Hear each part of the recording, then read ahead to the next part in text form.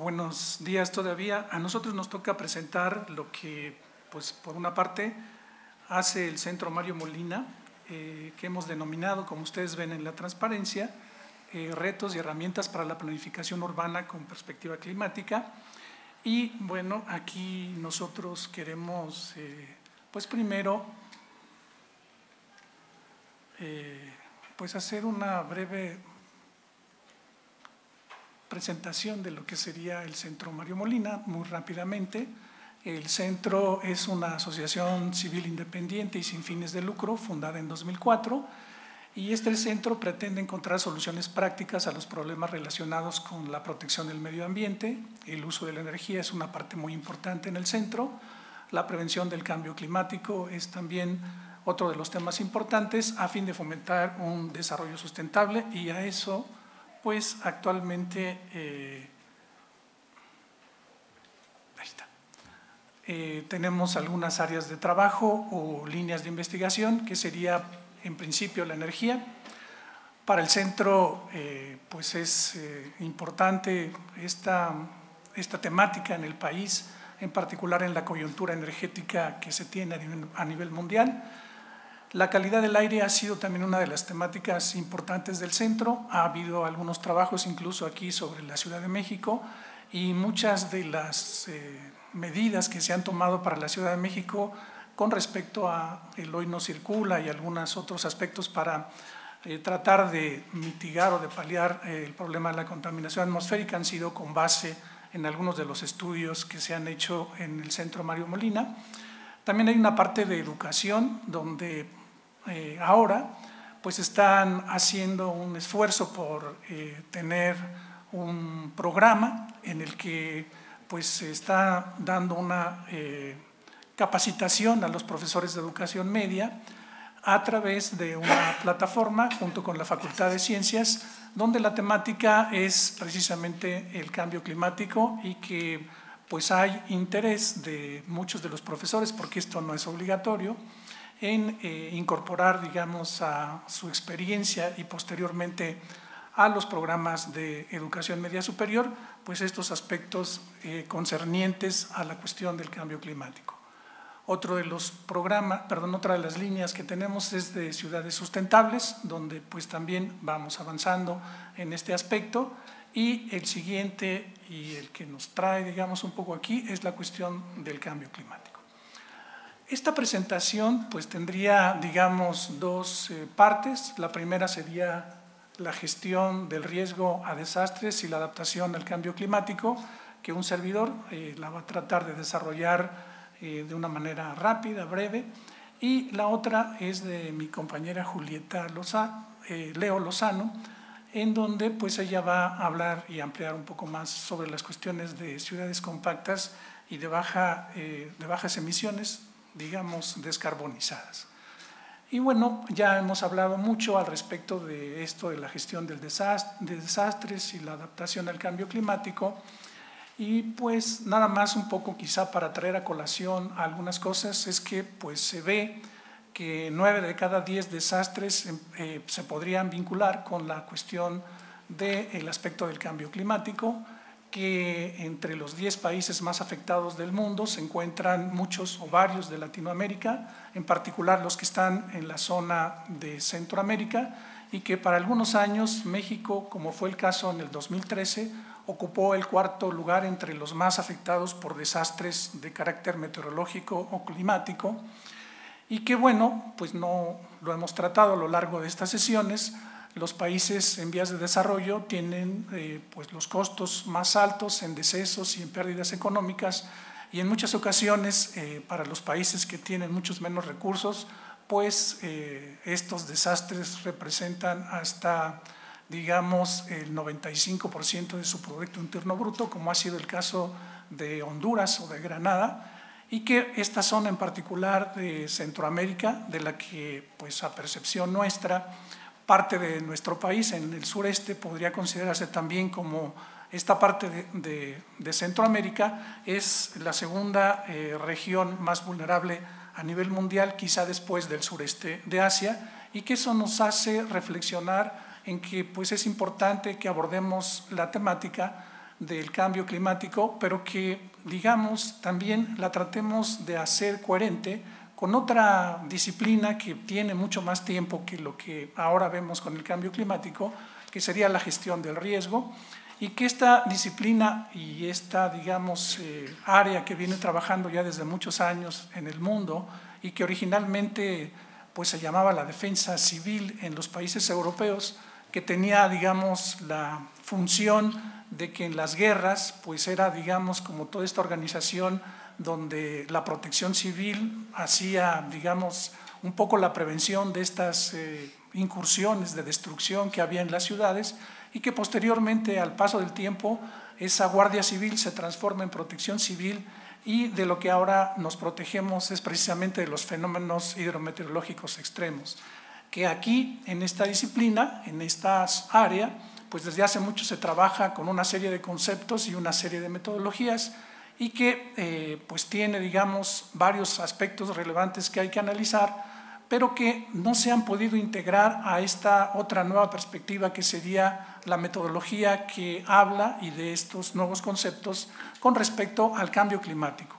Y que pues hay que conjuntar estos dos elementos, lo que sería la gestión del riesgo y lo que sería la adaptación al cambio climático, porque si no se tienen los dos elementos conjuntados, pues eh, no se tendría, digamos, una perspectiva más amplia para lo que perseguimos, que en este caso sería pues esta cuestión de adaptación al cambio climático en nuestras ciudades, en la población, en la infraestructura que tiene un país, que es muy importante, en los sistemas productivos y también en los eh, elementos que son el patrimonio cultural, perdón, el patrimonio natural, que son los ecosistemas y la biodiversidad que es relevante en nuestro país. Pero una parte muy importante son las zonas urbanas, pues estas requieren una planeación que incorpore, digamos, estos aspectos de riesgo y estos aspectos de cambio climático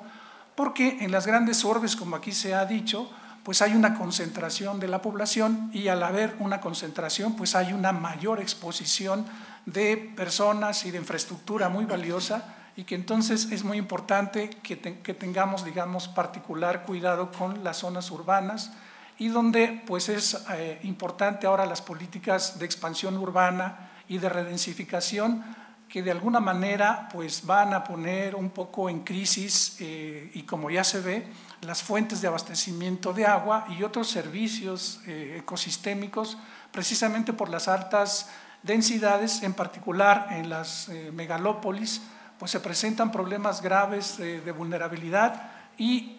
cinturones de población irregular o de zonas de, de, colonias populares que por esta digamos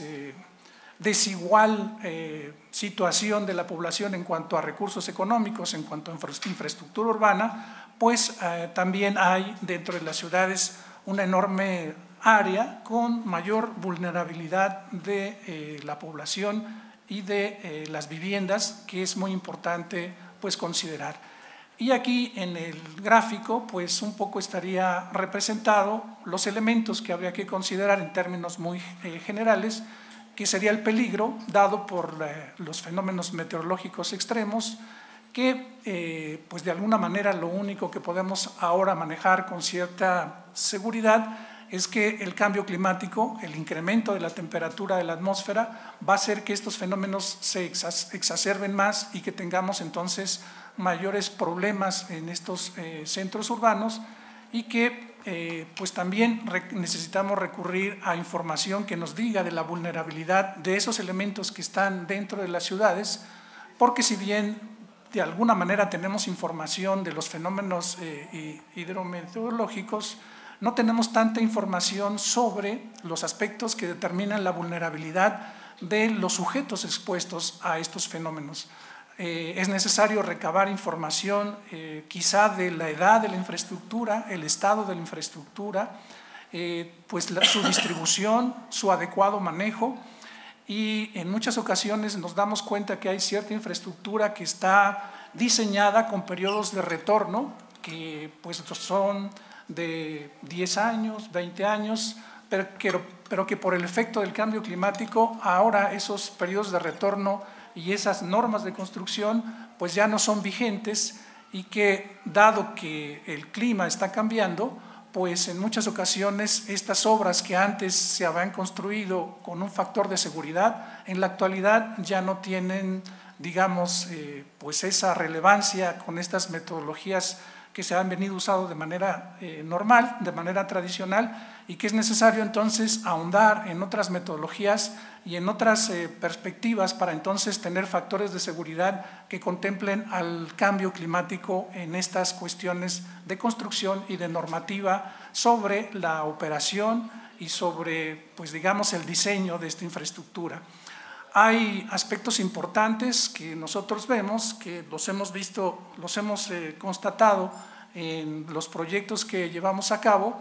donde, por ejemplo, tratando un poco de irnos a otra temática, que serían los puentes, pues resulta que ellos son diseñados con periodos de retorno de 50 años, pero ahora esos periodos de retorno ya no funcionan y eh, una de las instancias que tiene que dar su aval para este tipo de obras que es la Comisión Nacional del Agua,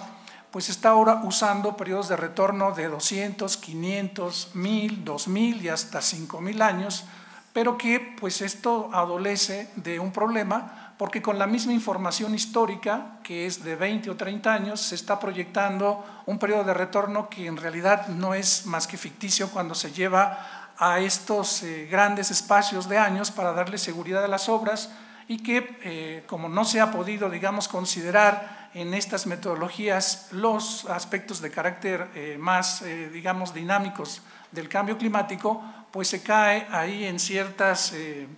pues, inconsistencias a la hora de que se hacen este tipo de características. Y pues un aspecto importante sería la exposición, donde pues la ordenación de, los, de la población, por ordenación, eh, entiendo la disposición de cómo están organizadas las cosas en un territorio, pues puede también ser algo muy importante y que en muchas ocasiones ah, simplemente con desplazar una población, una infraestructura, se puede, digamos, de alguna manera reducir esa exposición con respecto a los fenómenos eh, hidrometeorológicos extremos. Perdón, aquí ya está. El Centro Mario Molina ha, digamos, en un proceso que va conforme ha ido eh, desarrollando, eh, ha tenido varias experiencias y ha, digamos, elaborado algunos trabajos en esta temática de la riesgo al cambio climático y su vinculación con la protección civil, de tal manera que pues tenemos un primer trabajo que es del Atlas de Información Estratégica para la Adaptación al Cambio Climático, y decidimos hacerlo porque eh, cuando uno recurre a las autoridades para pedir información, en muchas ocasiones esa información la hemos encontrado reservada o se nos ofrece una imagen, pero no se nos ofrece los datos con lo, cual fue elaborado el trabajo, o tampoco están muy accesibles las metodologías y eso nos ha obligado entonces a generar eh, pues nuestra propia información y después compararla con la que tiene la autoridad y este es el caso del Atlas de Información Estratégica para la Adaptación al Cambio Climático. Con ese atlas hicimos un atlas que se deriva de este primero, donde eh, con la información obtenida pues pudimos usar este, digamos, eh, herramienta cartográfica eh, sobre la adaptación del sector petrolero al cambio climático y obtener varios resultados de sobre esta infraestructura tan importante para el país, cuáles pudieran ser las instalaciones estratégicas que estarían pues, más expuestas y que requerirían mayor atención de acuerdo a cómo es que ahora los fenómenos hidrometeorológicos son más destructivos y ocasionan pues, graves problemas a esta infraestructura. Eh, también participamos en el programa estatal de cambio climático del estado de Oaxaca, y también en esta parte, pues quisimos hacer una vinculación y la, hicimos en, gran parte entre lo que es eh, los fenómenos hidrometeorológicos extremos de la lluvia, las inundaciones, los deslizamientos, pero también eh, su contraparte que sería la, cuestión de la ausencia de lluvias y cómo esto se distribuye y en qué medida condiciona pues, muchos de los aspectos del bienestar de la población y de las cuestiones de carácter productivo. Después participamos en el programa de acción climática para la Ciudad de México, donde también vertimos algunas ideas para que se constituyera su programa de acción. Y el último trabajo que hicimos fue la gestión del riesgo de la infraestructura carretera de México ante el cambio climático y los fenómenos meteorológicos extremos, donde pues vimos que esta infraestructura carretera del país es la que más recursos consume, porque cerca del 60% de todos los recursos que tiene el Fondo Nacional de Desastres son consumidos por eh, las carreteras de México, dado que hay que eh, pues resarcir esa infraestructura después de múltiples eh, fenómenos que vienen y las deterioran y que pues se lleva esta cantidad onerosa de recursos. Y vemos que habría que hacer pues una serie de medidas para que eh, pues esto fuera disminuyendo en costos tan onerosos y que cuestan mucho al país. Y aquí en particular nos dimos cuenta que eh, las eh, normas de operación del Fondo Nacional de Desastres establecen que si se destruye una carretera, tiene que construirse en el mismo lugar y bajo el mismo proyecto, de tal forma que al hacerlo de esta manera, pues en el siguiente evento hidrometeorológico se vuelve a destruir y es, digamos, un círculo vicioso. Y a pesar de que ha habido muchos señalamientos en que debe cambiarse estas disposiciones, a veces la inercia pues, del gobierno y de instituciones de este tipo pues no pueden tan fácil cambiar este tipo de disposiciones. Y bueno, es ahí donde hay que ir ahondando con aspectos de evaluaciones económicas para demostrar pues que este planteamiento que quizá sea tan reacio por los problemas de corrupción que se tienen a veces en algunas partes de este sector, pues también valdría la pena cambiarlo para que tuviéramos un ahorro considerable de recursos. Y en, este, en esta serie de, de programas, en esta serie de acciones que se han propuesto en los trabajos que hemos desarrollado, pues hemos querido hacer la conjunción de instrumentos de regulación del uso del suelo, que son importantes como formas, digamos, de acciones concretas a desarrollar, el manejo de los, ecosistemas para la protección de los servicios eh, ambientales, como sería el caso del agua o la biodiversidad, pero los bosques pues tienen, digamos, otras funciones, a veces muy importantes, como es la estabilización de laderas, que eh, en el momento en que son quitadas estas coberturas vegetales, pues eh, se incrementan este tipo de fenómenos. Y una parte relevante sería la gestión del riesgo vinculado al aseguramiento de la infraestructura, el equipamiento urbano, los programas de alerta temprana, que eh, pues es muy importante primero hacer estos estudios, estos programas de gestión, porque las medidas técnicas pueden hacer que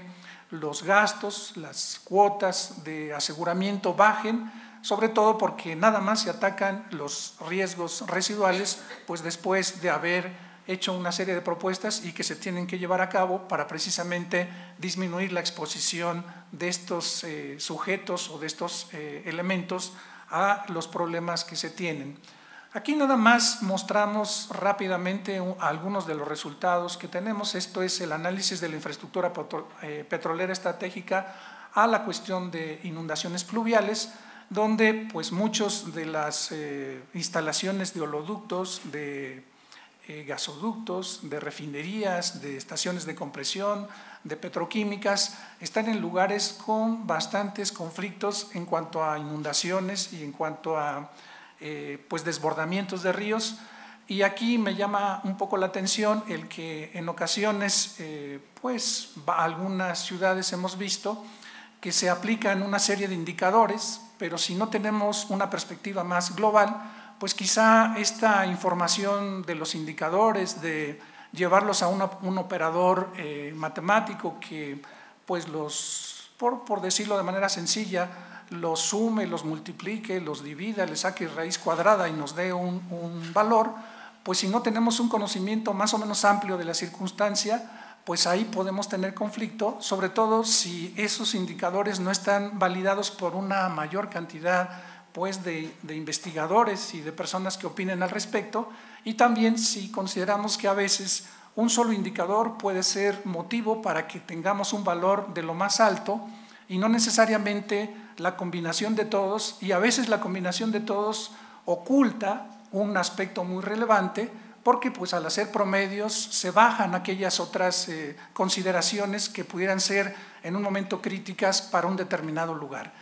Pienso ahorita, por ejemplo, en Ciudad del Carmen, que a lo mejor podríamos hacer así una serie de, indicadores y decir que el problema más grave que tiene es eh, a lo mejor el saneamiento de la laguna o el saneamiento de algunos esteros. Ah, recuerdo ahí, por ejemplo, el estero de la Manigua, que es una parte muy relevante que requiere el saneamiento, pero si lo vemos en un contexto más general, eh, Ciudad del Carmen es una de las zonas que tiene más eh, erosión costera, que está en un proceso de, de, subducción, dicen los geólogos, o sea, de hundimiento, y donde el nivel del mar, el aumento del nivel del mar tendría mayores efectos, de tal manera que hay algunos escenarios que plantean que para el año 2070, pues prácticamente desaparecería Ciudad del Carmen, y ya se notan ahora los efectos de esa erosión y en nuestro trabajo que hicimos sobre las carreteras, el problema más importante de erosión eh, marina sobre la infraestructura carretera precisamente está en esa zona de eh, Ciudad del Carmen, que pues espera que tendría grandes transformaciones en función de esta erosión costera galopante y en función del aumento del nivel del mar y la subducción de esta región del país. Eh, otros aspectos que hemos estado viendo pues es también eh, cuáles digamos serían los estados que tienen mayores conflictos de inundación con respecto a su infraestructura y que bueno aquí por ejemplo vemos que el 30% de los 250 mil kilómetros de carreteras pavimentadas en el país se ubican en zonas de alto y muy alto riesgo a la inundación. Pero si nos vamos al propósito que es este seminario, pues eh, las ciudades están en este contexto eh, general del país expuestas a diferentes fenómenos y vemos que un tercio de la población de México habita en ciudades de alta exposición a fenómenos eh, meteorológicos y climáticos. En la foto estaría, digamos, la ciudad de Villahermosa con estas presas que en determinado momento, porque están a punto de desbordarse, se abren y a pesar de que no hay lluvia en la costa, el río lleva tal cantidad de agua que invade a la ciudad y las zonas de lomeríos eh, son las que ocupan las personas pues para salvarse momentáneamente de estas inundaciones que son muy desastrosas y que pues eh, digamos eh, muchas también de otras ciudades padecen del mismo problema con respecto a una de las influencias más importantes que tenemos en el país que son pues los, los huracanes. En esta gráfica, pues de acuerdo a algunos trabajos que se han realizado, quisimos conjuntar varios de los indicadores o de los índices que tenemos para el país, donde eh, de alguna manera vemos la influencia de los huracanes, las inundaciones pluviales, las sequías. Las sequías las obtuvimos a través del índice de Palmer y de hacer un análisis de toda la, de toda la red de estaciones climatológicas del país, conseguir eh, información de los últimos 30 eh, años y a través del procesamiento de la información y de los periodos en los que se presenta este fenómeno, pues vamos determinando aquellos periodos de recurrencia de las sequías. Y bueno, la otra indicador que tenemos es el deslizamiento de laderas a nivel de todo el país, donde vamos viendo las zonas que tienen rocas eh, vamos a decirles así, donde ya sean tobas que son arenosas y se descomponen con mucha facilidad, o calizas muy fracturadas que en pendientes pues abruptas también son muy propensas a este tipo de fenómenos. Entonces vamos ubicando eh, cada uno de estos elementos de peligro con respecto a la amenaza que son los fenómenos eh, hidrometeorológicos, pero también a la susceptibilidad del territorio para que si es una zona plana, pues se, inunde con mayor facilidad, o si es una zona montañosa, pues entonces, dada la estructura eh, litológica que tiene, o sea, de las rocas que la constituyen, pues también esté más propensa a los aspectos de deslizamientos. También aquí vemos el problema de los incendios forestales, que pues afortunadamente hay cierta información que cubre el territorio nacional con esta perspectiva. Vemos que hay eh, determinados tipos de vegetación que son más propensos por el tipo de materia orgánica que tienen y que se forman suelos con contenido orgánico que es eh, susceptible, digamos, de, de una mayor posibilidad de incendios forestales y también aquí cruzamos alguna información que solo obtuvimos, por ejemplo, para el dengue hemorrágico, donde eh, hay, digamos, datos a nivel municipal de cómo es que se ha venido incrementando este padecimiento en diferentes municipios del país. Y si todos estos los conjuntamos y vemos eh, los municipios que tienen alta incidencia de cada uno de estos indicadores, pues vemos que el 65% de los municipios se ubican en zonas de alto riesgo y pues en ellos eh, son 1.600 de 2.485, lo que nos dice que pues el país está muy expuesto a este tipo de fenómenos. El 71% de la población habitan en zonas eh, pues de, pues de este tipo de altos riesgos donde se conjuntan eh, este tipo de fenómenos que son peligrosos el 45% de la superficie del, territorio, perdón, el, 45% de la superficie del país se ubica en zonas de alto riesgo a cualquiera de los fenómenos analizados, el 73% de las unidades económicas con cierta relevancia también están en estos lugares y el 64% de la producción bruta total del país se genera en estas zonas, por lo que el país ya con estos datos pues nos dice que es altamente vulnerable a los problemas de los fenómenos hidrometeorológicos y del cambio climático. Aquí lo que queremos un poco ahora hacer notar es que después de que hemos tratado de tener un diagnóstico un poco generalizado a nivel del país, estamos empezando a abordar los problemas ya de las ciudades y actualmente tenemos eh, un trabajo donde estamos eh, analizando un proyecto donde estamos analizando las ciudades, eh, digamos, donde son metrópolis relevantes para el país y juega un papel importante Monterrey y eh, Guadalajara. Solamente aquí les muestro, por hacerlo de manera breve, pues un poco de los problemas de inundación de la ciudad de Monterrey, que a pesar de que tiene un clima árido, pero cuando llueve hay muchos conflictos en ella de inundaciones, y que también al estar en una zona de rocas eh, calizas muy fracturadas, que forman eh, montañas que están pegadas al área metropolitana, pues también tiene graves problemas de eh, deslizamientos de laderas y que coinciden muchas veces esos deslizamientos de laderas, como se ha dicho también en otras exposiciones aquí, con los asentamientos irregulares, personas que tienen la necesidad de encontrar un espacio donde vivir y que a veces los lugares más económicos eh, son precisamente los más riesgosos y sin embargo, pues ahí deciden poner sus asentamientos a pesar de todos estos eh, riesgos que implica el que en algún momento puedan ser avasallados por un movimiento en masa de materiales y que es digamos, uno de los problemas de esta ciudad. Eh, hay, en particularidad, hay en particular en esta ciudad un problema de variabilidad climática entre, que oscila entre una sequía aguda y las inundaciones extremas. Y bueno, pues habría que ver que estos fenómenos de sequía se repiten eh, continuamente y que la influencia de los huracanes, que pues según tenemos información van a ser cada vez más intensos y más eh, frecuentes, pues también altera mucho a, esta, a esta ciudad. Y eh, pues aquí es donde habrá que definir estrategias donde cuando el agua sea muy abundante, pues habrá que aprovecharla a pesar de que es demasiado bronca como su gobernador o exgobernador,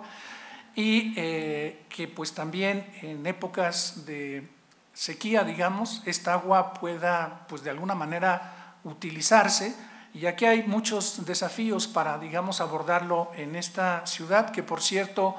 uno de cada nueve eh, habitantes de Nuevo León, pues vive en Monterrey en un proceso de concentración extrema de la población en una sola ciudad. Y sin embargo, en la transparencia que está arriba de este puente, que está siendo, pues digamos, muy afectado por la corriente del río Santa Catarina, y ese SOS que está ahí eh, hecho por las personas, pues es un grupo de ciudadanos que siendo conscientes de pues, lo que implica el recurso agua, están oponiéndose a la obra que se había planteado de traer agua desde el río Moctezuma, afluente del Pánuco, que está casi a 350 kilómetros al sur de Monterrey, y llevarlo hasta allá, porque es un eh, proyecto eh, oneroso en extremo y que pues en realidad lo que está haciendo es quitar el agua de otras personas, de otras cuencas y llevarla hasta estos grandes centros de población para tapar un hoyo abriendo otro. Y es aquí donde pues no solo habría que pensar en que para resolver los problemas de las ciudades habría que ser funcionalista. Por funcionalista entiendo que hagamos que las cosas queden tal cual, pero que funcionen un poco mejor. Habrá que también pensar que hay que romper estas cuestiones funcionalistas y irse más allá. Y habrá que pensar si es mejor, en lugar de hacer trasvases de agua, más bien había que hacer, voy a decirlo de manera metafórica, trasvases de personas de que distribuyamos de mejor manera la población en nuestro país, de que ese modelo de ciudades que concentran tanta, tanta población y que crecen como monstruos, eh, pues habría que pensar si son mejores las ciudades más distribuidas a lo largo del país, entre 200 o 300 mil personas, que nos permitieran fácilmente llegar a cualquiera de los lugares donde es mejor construir algo nuevo que arreglar viejas redes de agua potable, de drenaje, y de tener muchos conflictos, y entonces que pensemos no solo en el ámbito meramente de la, de la mancha urbana, sino también en un contexto regional que nos permita pues, tener otras posibilidades, que salgamos de ese marco estricto de la mancha urbana y que también veamos la relación que hay de esa parte urbana con su aspecto rural y con su aspecto de las áreas naturales que giran en un espacio eh, pues mucho más amplio y que nos permitan pues, considerar diferentes territorios, territorios de cuencas eh, hidrográficas, territorios de cuencas atmosféricas, territorios de la distribución de los acuíferos subterráneos que obedecen a otras circunstancias y que bajo un conocimiento de, este, de estos eh, aspectos pues podamos ir cambiando hacia estrategias que nos permitan reducir la vulnerabilidad de las ciudades y tratar eh, de aspectos eh, pues que nos den la posibilidad de políticas de atención a los desastres, de, fortalecimiento en el vínculo pues entre la política del desarrollo urbano y climático y la coordinación intersectorial, la colaboración internacional, como aquí se ha dicho, es muy importante, y la participación de todos los actores en una ciudad bajo un, un marco de inclusión. Y pues paso ahora mi eh, parte a mi compañera que les va a hablar del de, eh, aspecto complementario. Sí, podemos cambiar de lugar. Sí, ok. Eh, bueno, buenos días a todos. terminando un poco con, ahora digamos, cambiando de escala de, hablar de la parte como más regional o impactos más regionales a impactos más locales, recuperando la idea de Auribiel, en efecto, el tema de la planificación urbana como el instrumento que podría de alguna manera eh, reunir lo que es eh, las estrategias de adaptación y mitigación. ¿no? Eh, algunos de los ejercicios a escala más urbana que hemos hecho en el Centro Mario Molina van con la idea de demostrar cuáles son los beneficios de tener una ciudad más compacta. en este caso, por ejemplo, la reducción o el cambio de tener eh, conjuntos habitacionales expandidos a conjuntos eh, de vivienda más verticales puede ahorrarnos ¿no? hasta 2.3 veces eh, las emisiones de CO2, reducir nuestra huella de carbono. quiere decir que un 40% de la energía que utilizamos simplemente en la construcción podría reducirse con una ciudad más compacta. También en términos de movilidad hemos estimado que un habitante periférico genera hasta 40% más emisiones de CO2 que un habitante que vive en el centro urbano. Eh, además, por supuesto, puede realizar hasta 50 50 minutos más de, de, traslado en su traslado, de minutos en su traslado, ¿no? Es decir, casi un 26% más requiere de tiempo el habitante periférico para transportarse en comparación con un habitante en el centro urbano. Este tipo de métricas ¿no? Eh, eh, que hemos utilizado no solamente para entender eh, cómo una ciudad más compacta podría, podría ayudarnos a, que la planificación urbana pueda ser entendida también como una estrategia de mitigación. las utilizamos para, en conjunto con una consultora en San Francisco, algunos de los colegas eh, que estuvieron aquí en la mañana, Kenneth eh, seguramente lo, conocería, son Caltrop Associates y ellos son también los que están desarrollando eh, esta plataforma de Urban Print que platicó Kenneth por la mañana. Entonces, con, este, con estas eh, métricas que les platiqué anteriormente, unos colegas del centro lo que hicieron fue definir para la zona metropolitana del Valle de México cuál pudiera ser,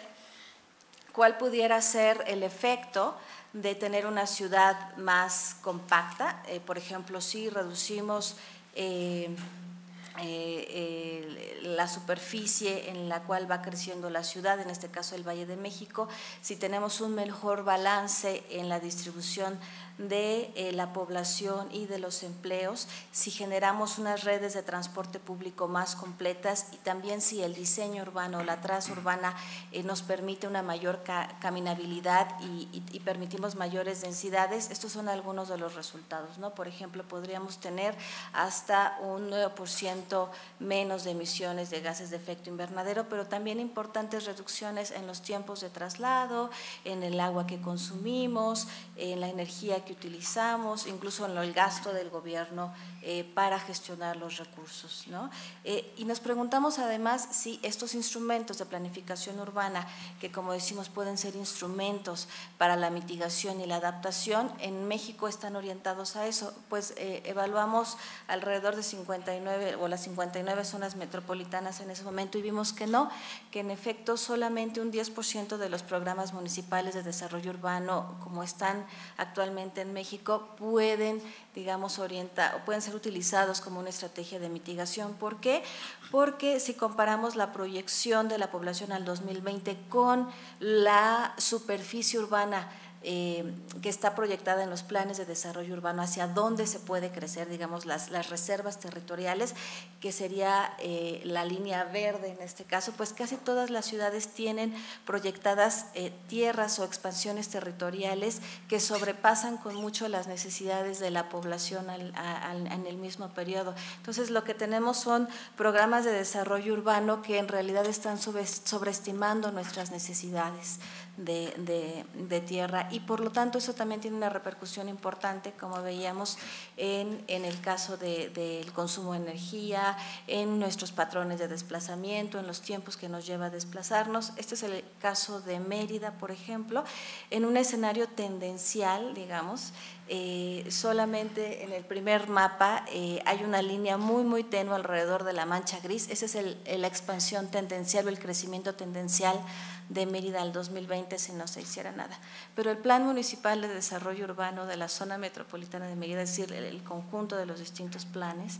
eh, marcan que la ciudad podría crecer este, hacia toda la, parte, digamos, ya más azul, de color más intenso que está en el mapa de la derecha. ¿no? Entonces, nosotros mismos a través de una mala planificación estamos fomentando ciudades expandidas que además son ciudades energéticamente más costosas. Otra de las ideas del centro es cómo podemos cruzar, ya lo señalaban también, eh, y tener una visión más holística y más interdisciplinaria de las problemáticas y no solamente hablar de la ciudad y de sus edificios y su energía o solo de la movilidad o solo de la compactación. Uno de los temas es eh, el desarrollo orientado al transporte. Este es el caso del BRT en, en la zona metropolitana de La Laguna eh, que, está conectando a dos municipios, pero pasa por un área donde no hay nada. Entonces, en lugar de dejarlo así, ya con un presupuesto aprobado para un BRT, pues la propuesta es qué tipo de infraestructura, qué tipo de desarrollo necesitamos eh, promover para que acompañe una infraestructura de movilidad tan importante eh, como un BRT. Hay dos complejos universitarios ahí cercanos. Nosotros lo que propusimos es que fueran este, acompañados con mayores densidades, eh, y esto es algo que también debería de hacerse, por ejemplo, en relación al tren México-Toluca. Este es el análisis de una de las estaciones en, en Metepec, ¿no? Eh, alrededor o en el buffer de un kilómetro alrededor de la estación en Metepec resulta que el 17% de las viviendas están deshabitadas, un, casi un 30% del suelo está sin ocupación, es, es, un predio vacante y además el 62% de las viviendas tienen coche, entonces ¿quién se va a subir en esa estación al tren de manera caminando?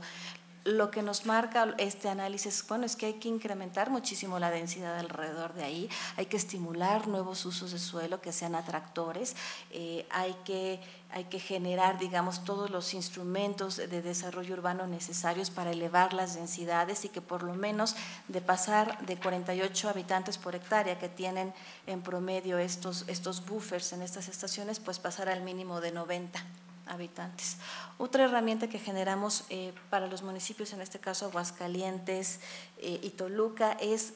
cómo los municipios pueden entonces identificar en qué zonas de la ciudad vale la pena invertir para generar nueva vivienda. Eh, en esta herramienta hay 10 10 temáticas, eh, infraestructura, equipamiento, densidad, empleo, transporte, entorno caminable, el costo del suelo, el costo del transporte, el tema de, los riesgos, si hay unos instrumentos de planeación y cuál es la accesibilidad a áreas verdes. Cada una de las manzanas, en este caso de Aguascalientes, está evaluado con relación a diversos indicadores de estos 10 grandes temas y cada manzana tiene o recibe una puntuación de 0 a 100. En este sentido podemos saber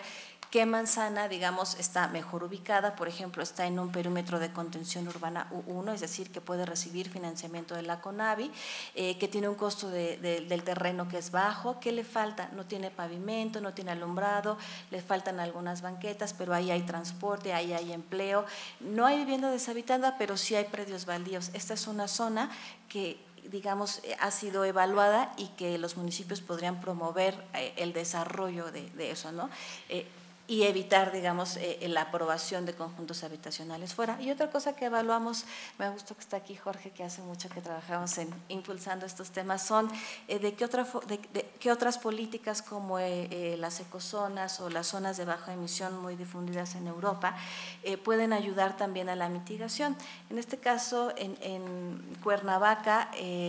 estudiamos si en el centro de la ciudad podrían restringirse la movilidad de los vehículos más contaminantes, pero claro, eh, eh nuestras ciudades, eh, y en este caso Cuernavaca, pues necesita ofertar alternativas. Entonces, al mismo tiempo de promover una restricción a los más contaminantes, en este caso a los no verificados y que tienen más de 30 años. Lo que queremos es promover eh, la modernización del transporte público, las alternativas de infraestructura este, peatonal y ciclista y también regular, digamos, el, uso del auto a través de desincentivos. Si eh, se aplicara esta política, podría reducirse hasta en un 60% de las emisiones de CO2 y, por supuesto, de manera importante, otros contaminantes que afectan directamente la, salud y ahí está el mapa de la concentración de los contaminantes. ¿no? En este caso es, es PM10. Eh, estas son algunas de las políticas, instrumentos, digamos, que hemos eh, trabajado a nivel de escala urbana en el centro. Muchas gracias.